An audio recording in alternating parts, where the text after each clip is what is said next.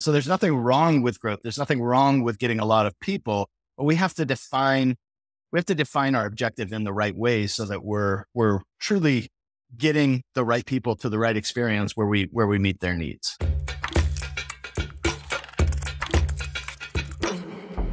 Welcome to Statements of Intent.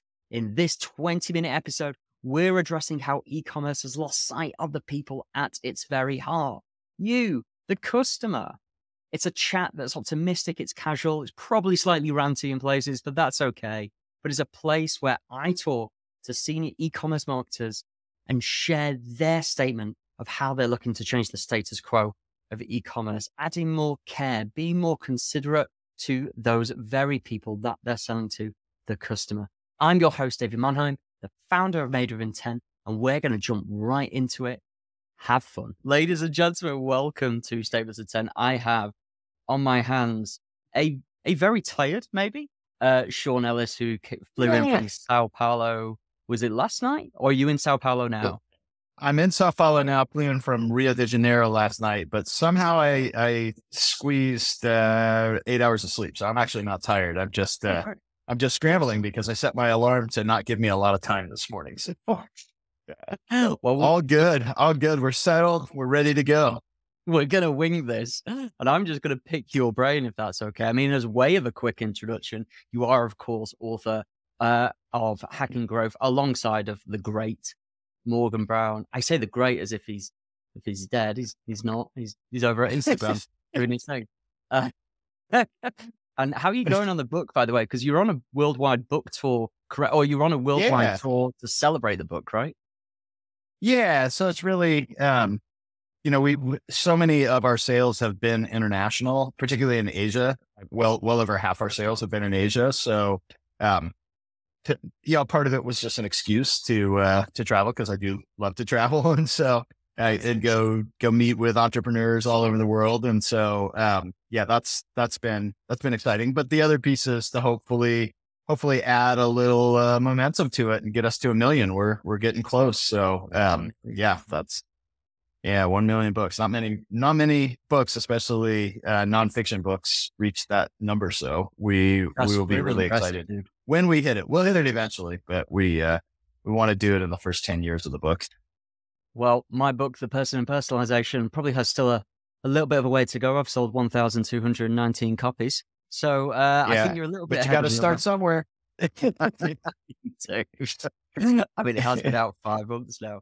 Um, of course, you founded Qualaroo, which I think most most people know, and I think, and, and of course, Growth Hackers. I think that's rather pertinent to this conversation because your statement of intent is all about not being short term focused. And when we put that in respect of the customer or indeed the voice of the customer, I think that that means quite a lot. That adds a lot of value. Could you talk to us about what you mean when you say not being short term focused?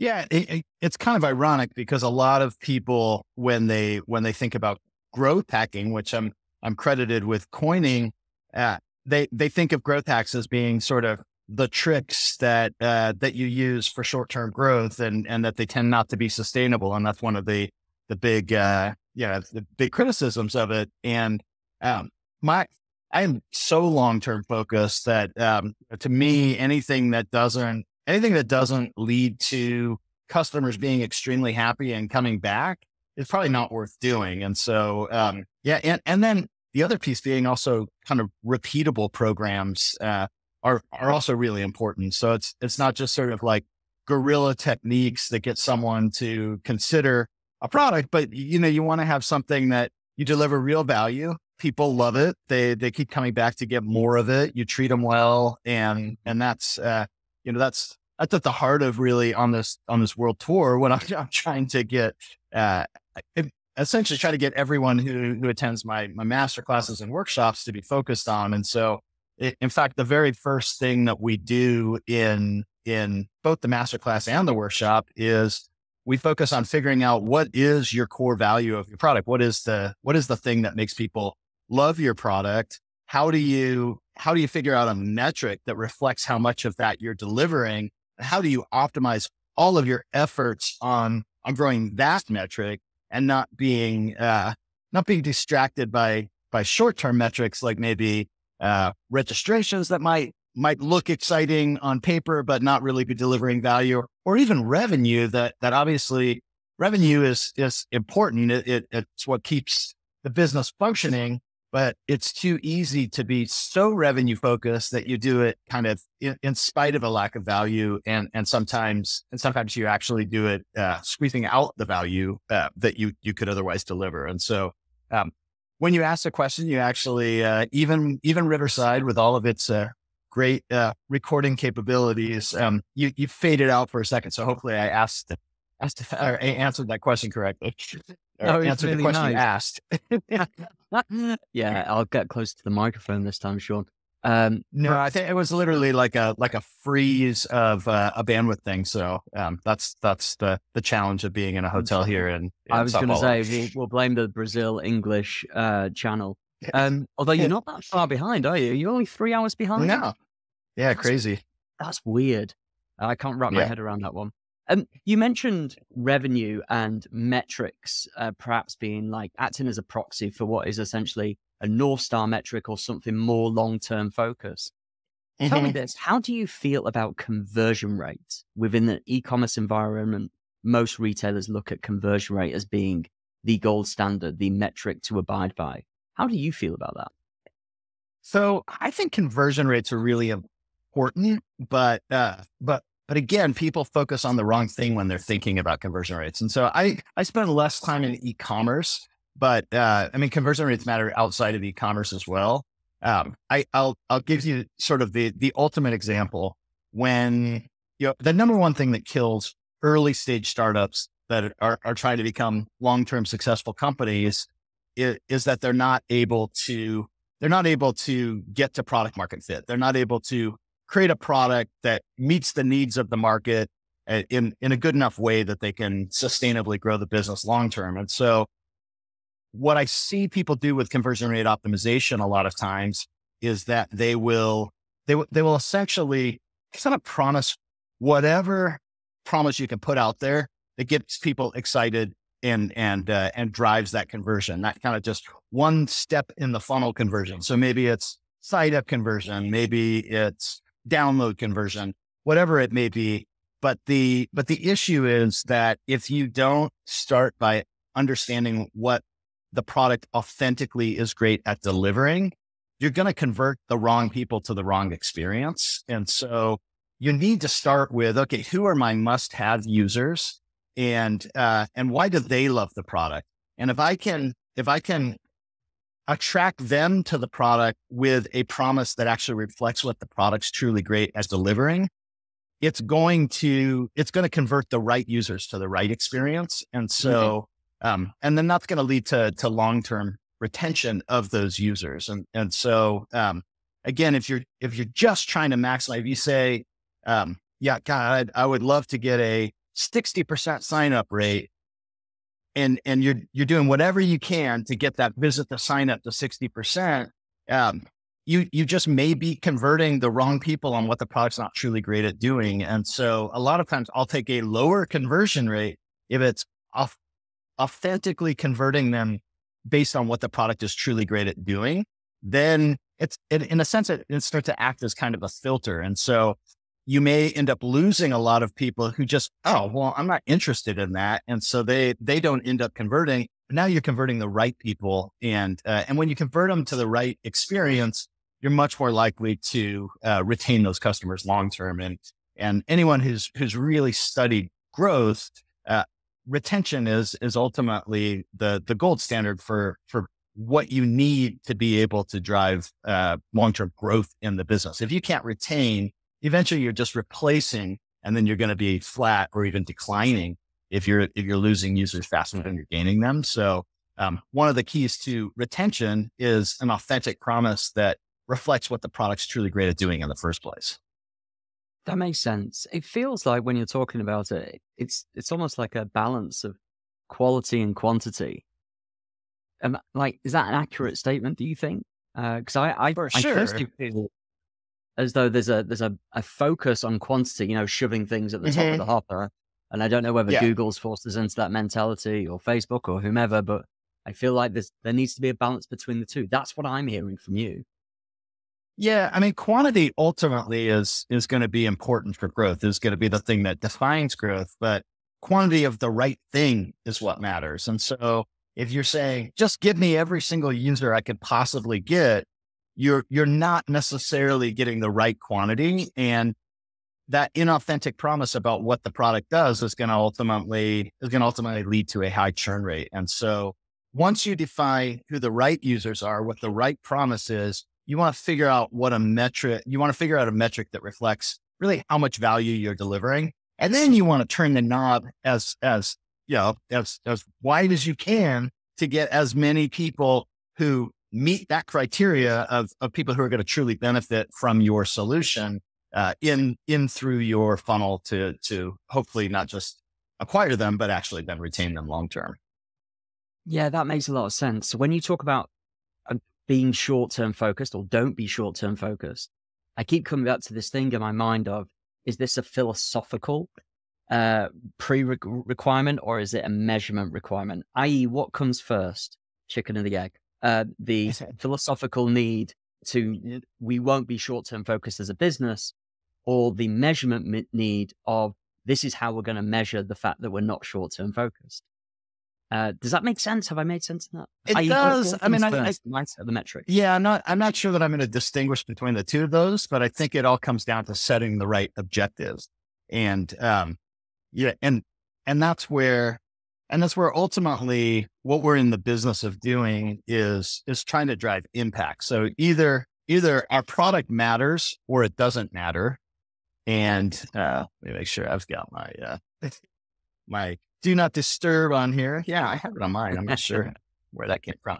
But um, so either our product matters or it doesn't matter. And if our product matters to people, then then we want to drive as much impact as we can. If it doesn't matter, it's impossible to drive impact. So mm-hmm. we we need to start with what is that impact, and then and then yeah, we have to do everything that we can to reach the people who who truly need the solution that we've created and uh, and so there's nothing wrong with growth. There's nothing wrong with getting a lot of people, but we have to define, we have to define our objective in the right way so that we're, we're truly getting the right people to the right experience where we, where we meet their needs.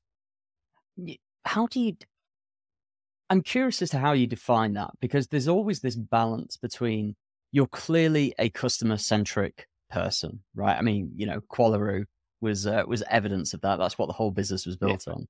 Um, sure. How do how do you balance that need to always focus on customer with things like shareholder return, with the need for constant growth, with the need for an evolving market? How do you always bring it back to the customer? I mean, fortunately, like I think when you when when you really look at it, you're everyone's aiming for the same thing. So whether it's shareholder value, whether it's please my board of directors or please my my my CEO, um, yes, maybe they'll get excited if if there's a short term blip, and and uh, and you kind of you you grow beyond your uh, realistic ability to to satisfy that that new uh, demand that you've that you've acquired.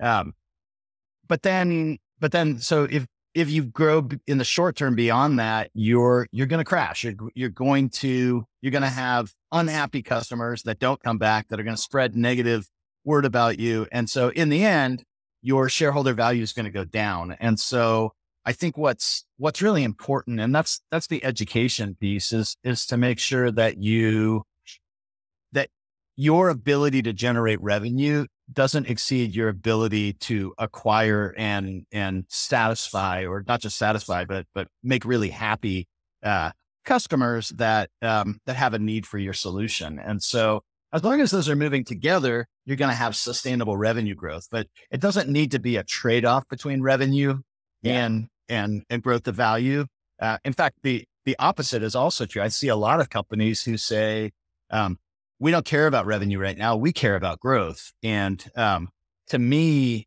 that's the scariest thing in the world is, is trying to grow really fast without, without having kind of sustainable economics around it where you're, you know, I, the, the way I look at it a lot of times is, um, people say, "Oh, if I can if I can acquire yeah a thousand users a day at half my allowable acquisition costs, I'm I'm all for that, but I'm not going to monetize now. I'm going to monetize later."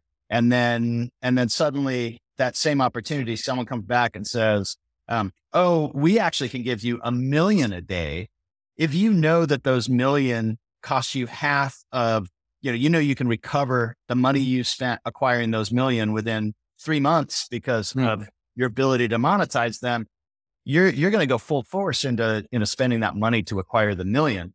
But if it if it's on some you know spreadsheet model of theoretically being able to monetize someday in the future, it's easy to make the little bets, but then when you start to make the big bet, that gets really scary because you know if you're wrong, and so you end up being more conservative than you need to be. So if you're if you're focused on sustainable economics, you're much more likely to to grow effectively. So it it works both ways on that. So you're you you don't want to optimize just on the revenue side. You want to make sure that revenue and value are growing at the same trajectory or value is maybe even growing faster than revenue is. Um, because the other way around, it's going to be unsustainable. Eventually the, the value growth will crash and the revenue growth will crash. And then, but again, the other extreme is when when they say i don't even care about the revenue. All i care about the, is the growth. And when you don't have that that uh, sustainability feedback loop uh, ev- eventually that can cause you to actually grow slower. And so um, the the goal should be we have created something that the world really needs. We want to get the right people experiencing it the right way in the biggest numbers possible so that we make really good impact on the people who have that need. And and then the one other thing that happens is if you if you don't do that, you you leave slack in the market so that so that a competitive uh, solution can come in there and and and satisfy that demand if you're not able to. So um, that's the other reason why you want to be aggressive and making sure that you don't leave a lot of slack in the market. Uh, so yeah, um, fast, fast the- uh, growth is super important. that's the sentiment I definitely got. So that yeah. Uh, I'm going to push you a little bit if that's okay, Sean. Sure. No, so, no problem. I mean, what we're talking about is a balance, right? But that sentiment that you just said about getting the right customer uh, to ensure that we have correct product market fit, um, et cetera, et cetera. That sentiment that you just said there. What are the things that prevent people from thinking like that? Because it feels so obvious, and it obviously feels somewhat somewhat ethereal. It feels like something to attain to. What are the things yeah. that stop people thinking like that? Yeah. And it's not so much the thinking, it's the doing that becomes the hard part here is that once someone's convinced of that, then suddenly you realize that a marketing team who who might be the one who's who's responsible for kind of growth of the numbers in the business, you know, maybe it's a sales team if it's a B2B product, but whatever it is, it's um, there's usually one team that's kind of that that growth curve is responsible for it. Um, it, it turns out that the marketing team has has very little power into being able to affect long term growth. So mm. what the marketing team can do is bring them to the front door. And so you can do what I had said, where if you take the time to truly understand why people love the product who love it and you set the right expectations, you're at least acquiring people with the with the right expectations about the product. And so you're more likely to drive sustainable growth. But if you want to truly be able to capture market share, you need to be able to focus on those conversions that you talked about and, and to really think about, okay, now that they're in the product, how do I get them to that valuable experience as quickly as possible? And so we call that in growth, we call that the aha moment. So speed to value. How do I get that? And that generally sits within the product organization. And then um, yeah, and, and maybe again in B2B, maybe customer success plays a role. Sales might play a role, even the same way that I was saying. You get a, a salesperson who's promising a bunch of things that the product doesn't do. Their numbers can look good in the short term, but you're not going to retain those customers and you're, you're going to ultimately not have growth on a strong foundation. So it turns out that in order to do this, you need everyone on the same page in the company. You need cross functional alignment and yep. not just alignment in in thought, but alignment in action, so that they're actually executing toward the toward the, the the same goals in the business. And that's where it falls apart because product teams are generally thinking more in terms of, you know, we're one feature away from not even needing a marketing department anymore. and, uh, and so they're, they're thinking in terms of the product roadmap where the truth is that the, the product team plays a huge role in, in helping people get to a valuable experience with what they have already built. And they just don't prioritize those efforts a lot of times. And so um, that's that's actually one of the major things that I'm focused on on this international uh, tour right now. Is I I get full cross functional teams together for the full day in these big group workshops where they're ultimately getting on the same page around what is the value, how is it created, how do we work together to amplify it and get a lot more people to experience it more quickly, and and that's the the impact side of things, and um and so it's the habits of being able to do it that are hard. The mm. theory, I, it's pretty easy to get the theory where people say, "Oh, yeah, that makes sense. We need to aim for that." But but theory without habits doesn't get you anywhere. Yeah, it resonates, but it's difficult to difficult to achieve. I totally get yeah. that. Well, look, this this is usually like some kind of cute twenty minute podcast to eke out the thoughts of great people like yourself. So thanks for coming on the things that I learned about your statement of intent not being short term focused is about being objective led, about alignment, both in terms of mentality and organizational, and balance as well. I think there's a balance mm-hmm. between the short termism and the long termism, or indeed, you know, what is your objective in order to lead towards that balance? Um, yep, absolutely. Where, where can people find you? Um, specifically, where could people find you on perhaps June the 19th, 2024? I'm going to be at the Growth Marketing Summit in Germany with yourself. So, uh, yeah, that's a uh, it, that's a dangerous question to ask me because um, between that time and now, I will be in so many different cities, uh, so many yeah. different uh, workshops and presentations. That uh, I'm glad you remember. like, where the hell will, will I be on June June the 19th? But um, yeah, I have the context of you and I meeting through that conference. So yeah. I'm glad that's memorable. Right. Uh, thank you very much, Sean. I appreciate your time um, and have a great day in Brazil. Thanks, David. Appreciate it too. There we have it. Thank you so much for listening. Please do like, subscribe, and share on whatever platform it is that you're listening to on today. This show comes from the team behind Made with Intent, the customer intent platform for retailers. If you are, of course, interested in being more profitable whilst being more personal, then please feel free to check us out at madewithintent.ai. Thanks again for listening and joining us on our mission to change how e commerce sees, measures, and treats their customers. I've been your host, David Mannheim. Have a great day.